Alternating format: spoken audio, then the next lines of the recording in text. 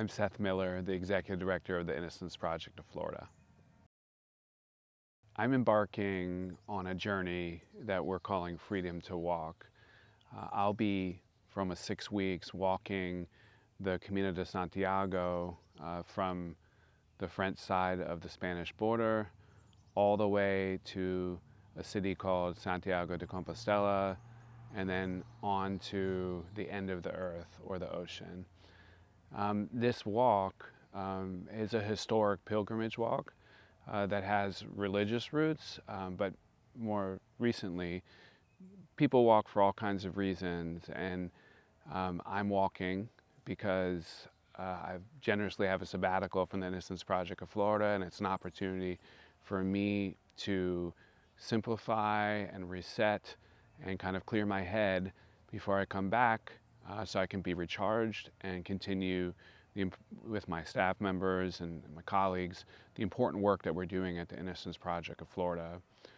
We wanted to um, use this walk as an opportunity to highlight uh, both the solitude and challenges of wrongful incarceration, but also um, the freedom that those uh, who are freed enjoy to move about where they like, travel and explore in ways that they were never able to do when they were wrongfully convicted and incarcerated. So it's really a, a dual purpose um, to highlight you know, our clients who are still in prison who don't have the freedom to walk, but honor our um, former clients who have been released who are on their own journeys and explorations uh, in the free world with the time they have left on this earth.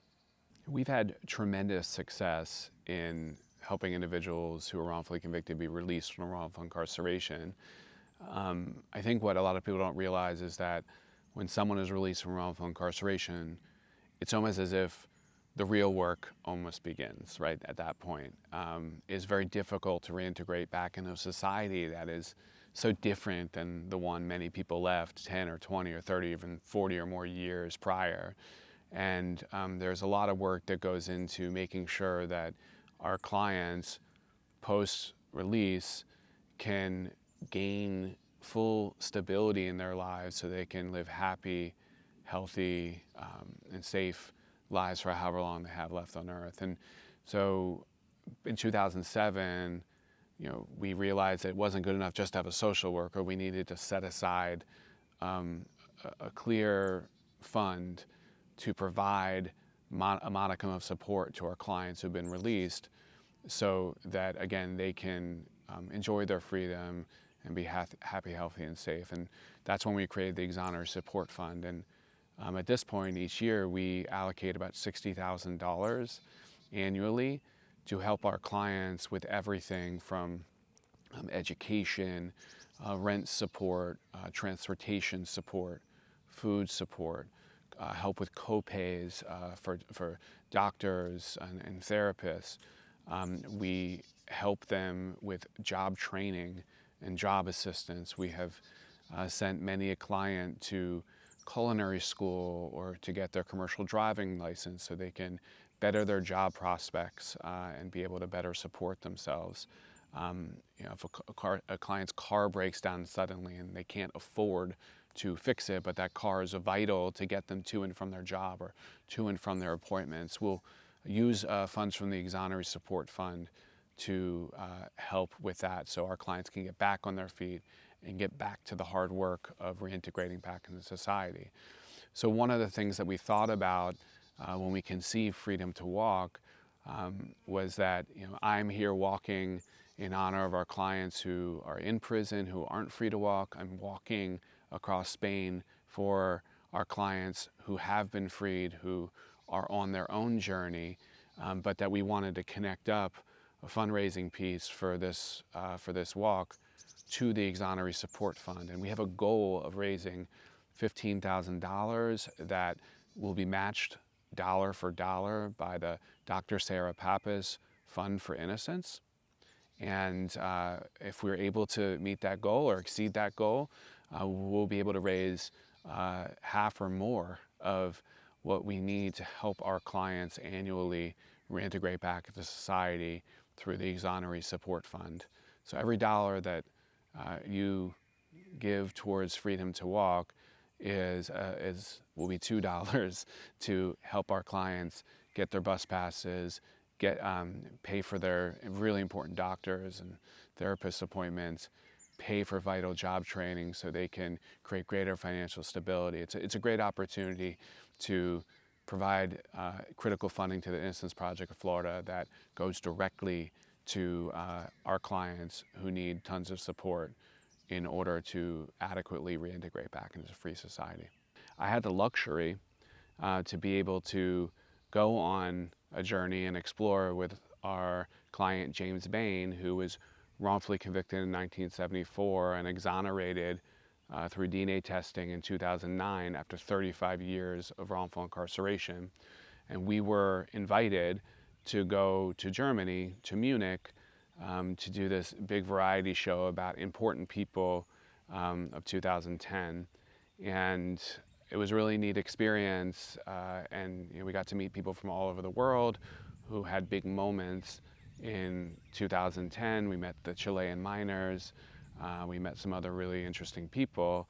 But maybe the most interesting experience for me for the whole trip was to be able to uh, be with James and experience vicariously through him something that he never thought he would experience. And that is, you know, the ability to get on a plane and travel across the ocean um, to visit someplace that is totally different, um, that is a world away.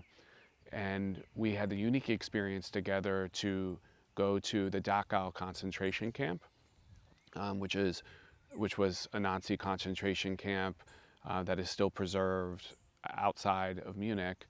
And it was, it was especially unique for me because I'm a grandchild of Holocaust survivors. Uh, um, two of my grandparents were in concentration camps, and um, my mother was born in a refugee camp, a displaced persons camp, after the war in Germany.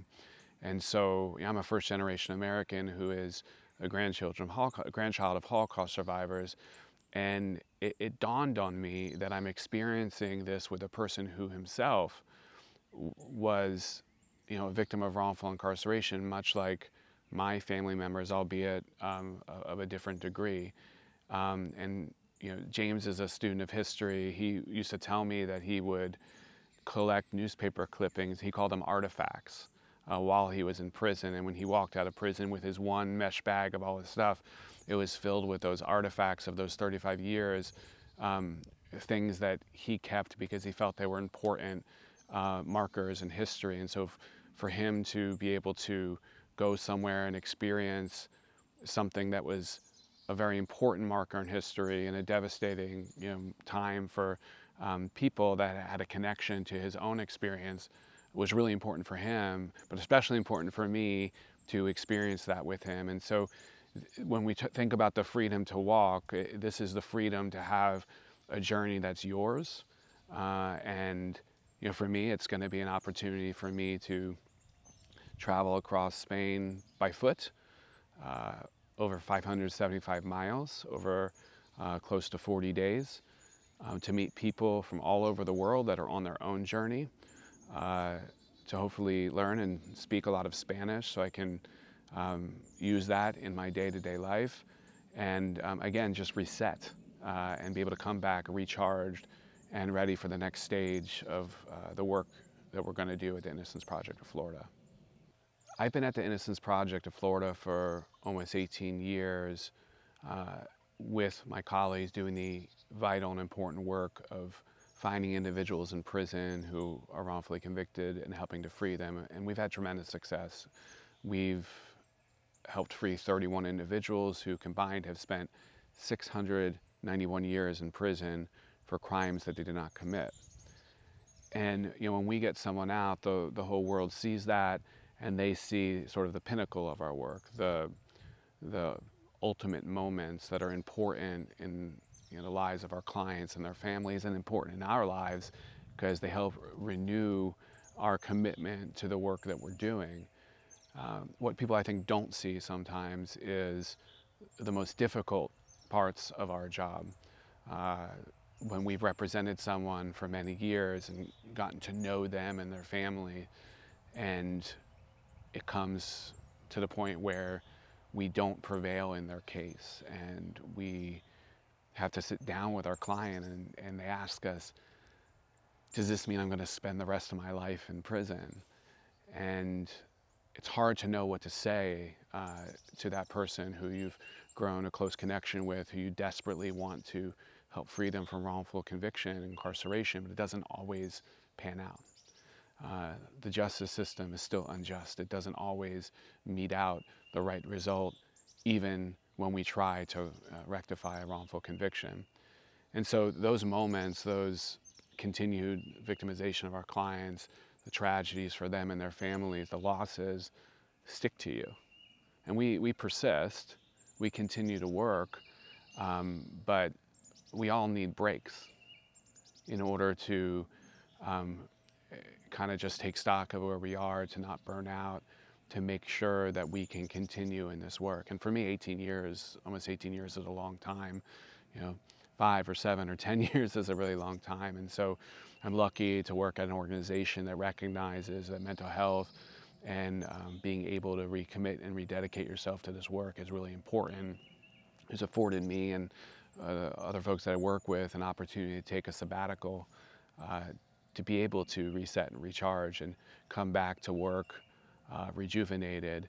Um, and it was a great opportunity to highlight what I'm going to be doing with Freedom to Walk um, to both raise awareness about uh, you mental health of staff members, to do this work, to raise awareness about the continued plight of our clients who are in prison, and um, raise a little bit of money um, in honor of uh, Freedom to Walk to help the next set of clients get out of prison uh, so we can help them renew their lives and reconnect with their families.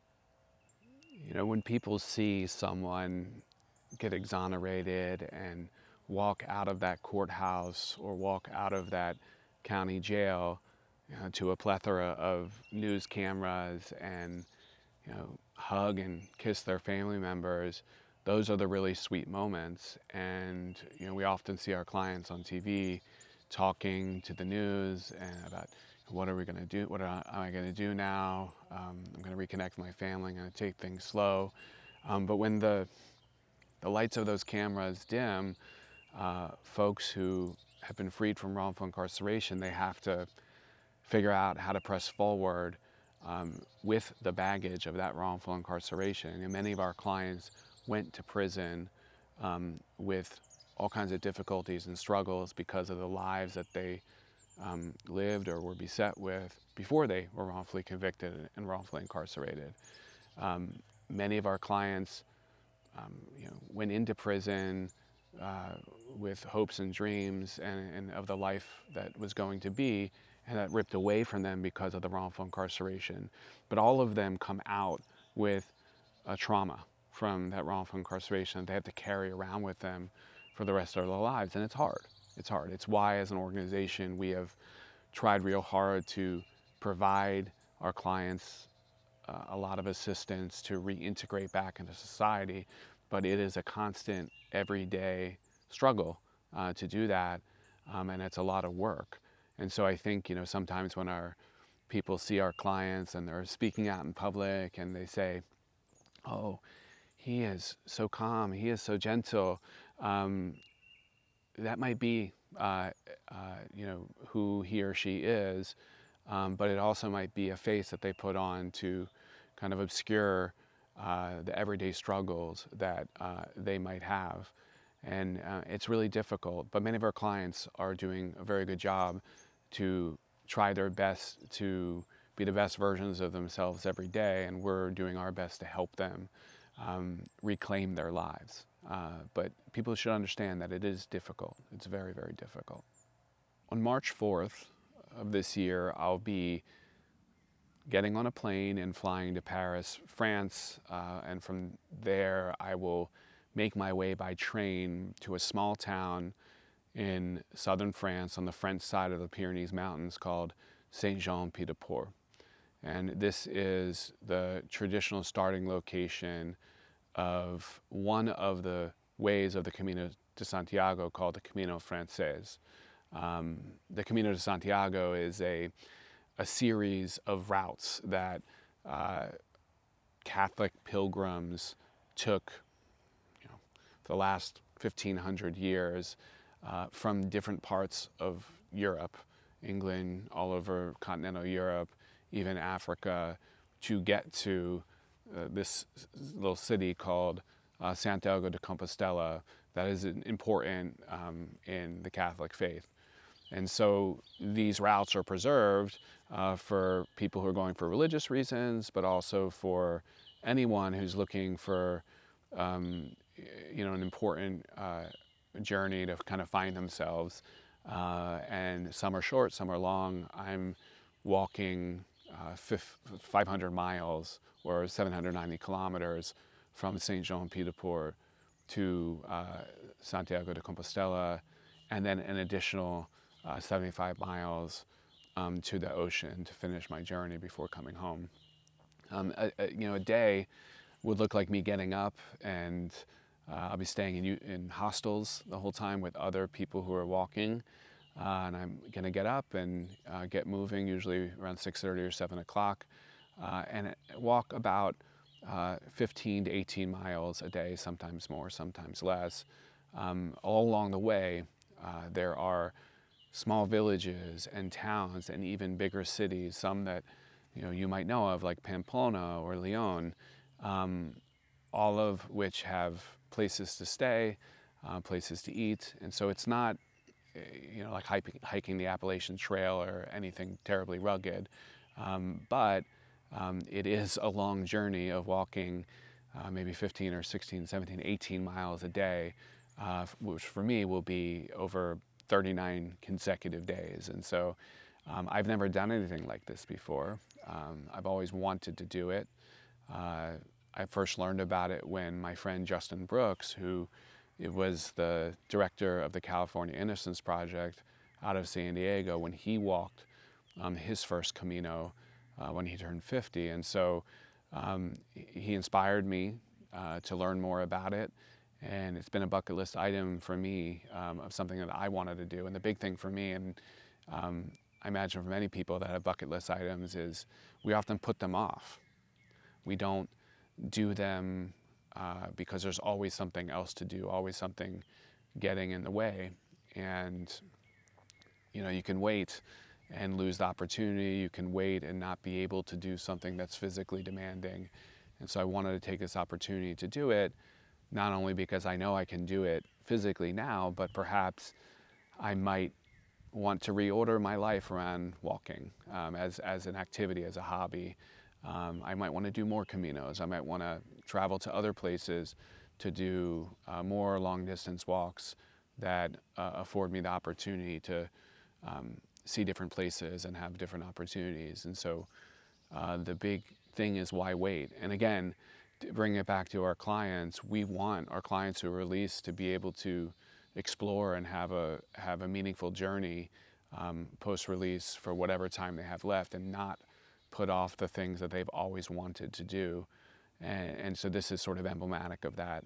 Um, I'm walking for myself, I'm walking to be a better version of myself, and I'm also walking uh, as a symbol of my clients, like hopes and dreams to, to get on the way on their own journey. When I think about the support that we provide to our freed clients um, after their release, you know, I, I, think a great example is uh, our freed client Stephanie Spurgeon, who was freed in 2020 during the pandemic after eight and a half years of wrongful incarceration for a crime she didn't commit. And you know, she's had wonderful triumphs, but also lots of difficulties uh, in reintegrating back into society. Um, she, in some ways, is uh, one of the most fortunate unfortunate people I know because I say unfortunate, obviously, because she was ripped from her family um, when her children were still in high school.